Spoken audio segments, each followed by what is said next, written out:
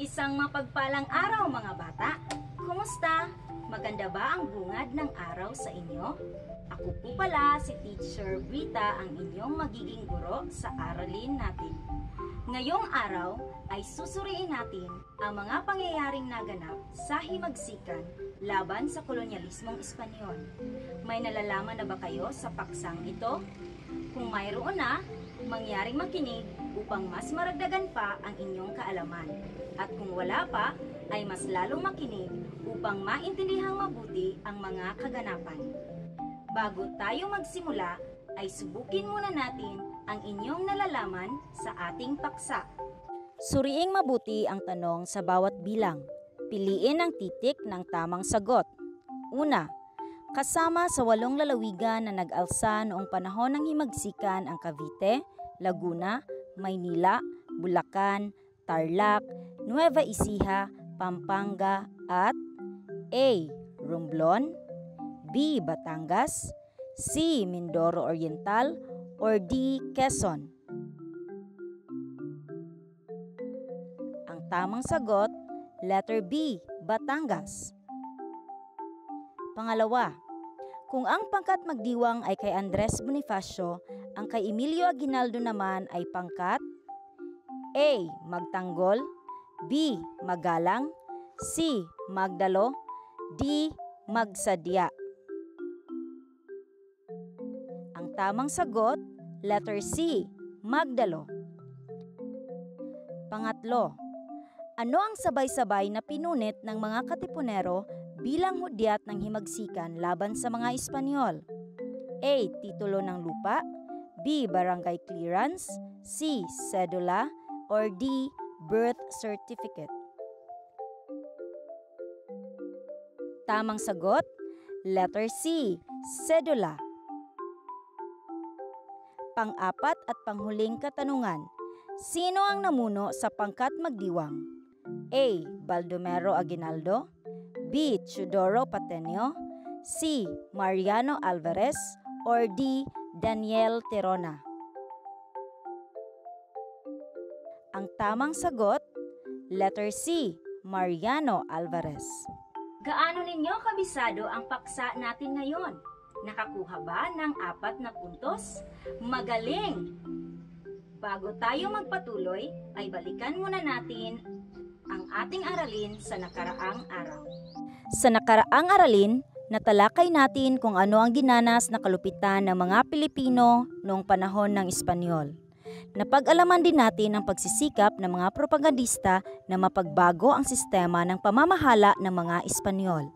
Nagwakas ang kilusang propaganda sa pagkamartir ni Dr. Jose Rizal sa Luneta noong 1876.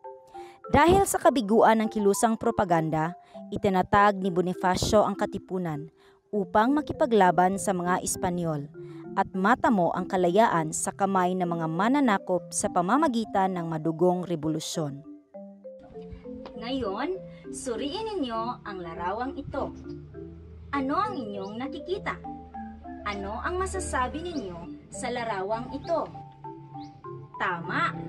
Ang larawan ay nagpapakita ng pangyayaring naganap noong ika-23 ng Agosto, 1876. Handa na ba kayong makinig? Kung gayon, ay simulan na natin. Nabunyag ang katipunan o lihim na samahan dahil sa pangungumpisal ni Teodoro Patenio kay Padre Mariano Gil nang sila ay magkaroon ng hidwaan ni Apolonio de la Cruz. Nang mabunyag ang katipunan, marami sa mga kasapi nito ang inaresto. Ang mga katipunerong nakatakas ay nagtungo sa Balintawak, isang nayon sa Caloocan. Kaya't noong ika-23 ng Agosto, 1876, ipinatawag ni Bonifacio ang mga pinuno ng katipunan at napagkasunduang simulan ang himagsikan. Sabay-sabay nilang pinunit ang kanilang sedula at sumigaw ng Mabuhay ang Pilipinas bilang tanda ng kanilang pakikipaglaban. Ang pangyayaring ito ay tinawag na Sigaw sa Pugadlawin. Ang Sigaw sa Pugadlawin ay isang natatanging pangyayari sa kasaysayan ng Pilipinas na binubuo ng mahigit limandaang katipunero na sabay-sabay na pinunit ang kanilang sedula bilang pagpapatunay ng kanilang tuluyang pagtiwalag sa pamumuno ng mga Espanyol sa Pilipinas. Lumaganap ang paghihimagsik sa iba't ibang bahagi ng bansa. Nanguna sa himagsikang ito ang mga lalawigan ng Batangas, Bulacan, Cavite, Laguna, Nueva Ecija, Pampanga, Maynila at Tarlac. Ang walong lalawigan na may inisyal na Babu Kala Nupa Mata ay sumisimbolo sa walong sinag ng araw sa pambansang watawat ng ating bansa. Ba para sa Batangas, Bu Bulacan, Ka Cavite, La Laguna, No Nueva Ecija, Pa Pampanga, Ma Maynila at Ta para sa Tarlac. Nakalulungkot lamang isipin na sa panahon ng pakikipaglaban sa mga Espanyol ay nahati sa dalawang pangkat ang katipunan. Una ay ang paksyon ng Magdalo na pinamumunuan ni Baldomero Aguinaldo, na kampi kay Emilio Aguinaldo. Pangalawa ay ang paksyon ng Magdiwang na pinamumunuan ni Mariano Alvarez na kampi naman kay Andres Bonifacio. Si Emilio Aguinaldo ang namuno sa mga katipunero sa Cavite. Siya ay isang batang-batang pinunong ipinanganak sa Kawit, Cavite at naging kapitan munisipal sa gulang na 26. Dahil sa kanyang mahusay na pamumuno, ay naging matagumpay ang lahat ng kanilang laban sa lugar. Natalo niya ang mga kawal na pinamumunuan mismo ni Gobernador General noon ng bansa na si Ramon Blanco.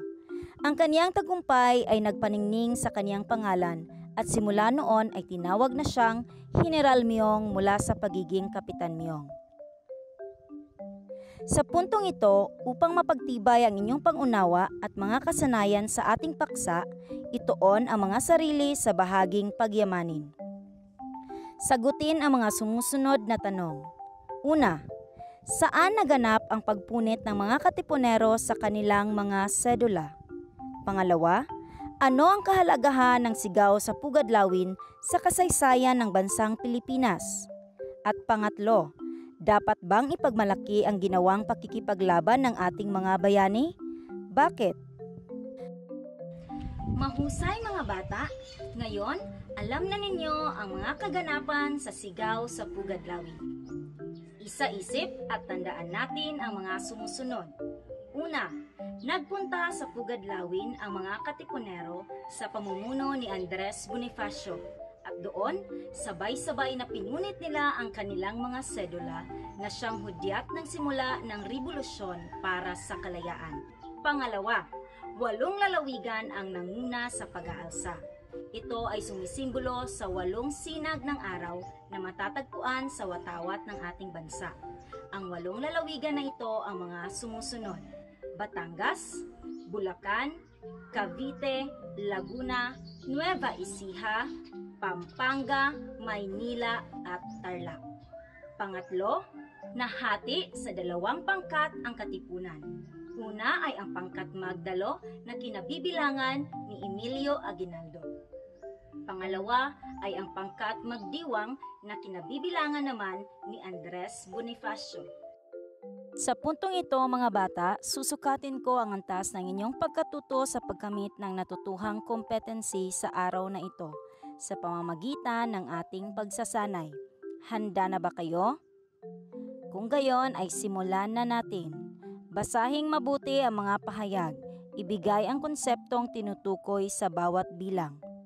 Una, ito ang tanda ng pagsisimula ng paghihimagsik ng mga Pilipino. Ano ang sagot? Tama. Tamang sagot, sigaw sa Pugadlawin.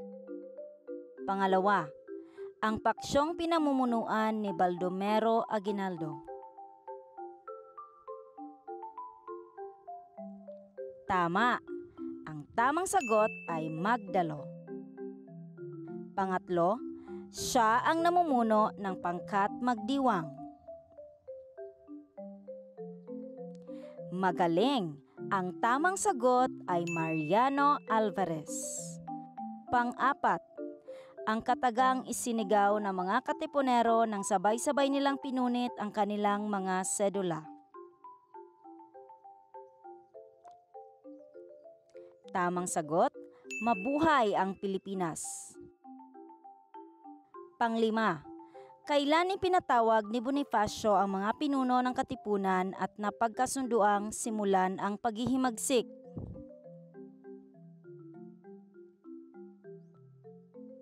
Tamang sagot, noong ikadalawamput-tatlo ng Agosto, isang libo Pang-anim, sumisimbolo sa walong sinag ng araw sa pambansang watawat ng ating bansa. Magaling! Ang tamang sagot, Batangas, Bulacan, Cavite, Laguna, Nueva Ecija, Pampanga, Maynila at Tarlac. Pangpitong katanungan, siya ang nagbunyag ng lihim na samahang KKK o Katipunan kay Padre Mariano Hill. Magaling mga bata, ang tamang sagot, Chudoro Patenio.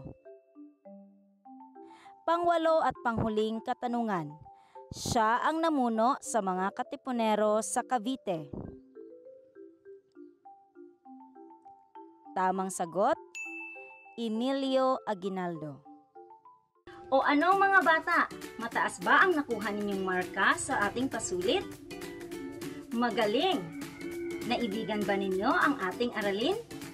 Kung gayon, ay magkikita tayong muli para sa iba pang kaalaman tungkol sa himagsikan noong 1876. Muli, ito po si Teacher Maria Brita Acosta ng Lungsod ng Mabini ang inyong guro sa Araling Palipunan ng ika-anim na baita. Maraming salamat sa pakikinig. Stay healthy and safe. Sulong Idokalidad.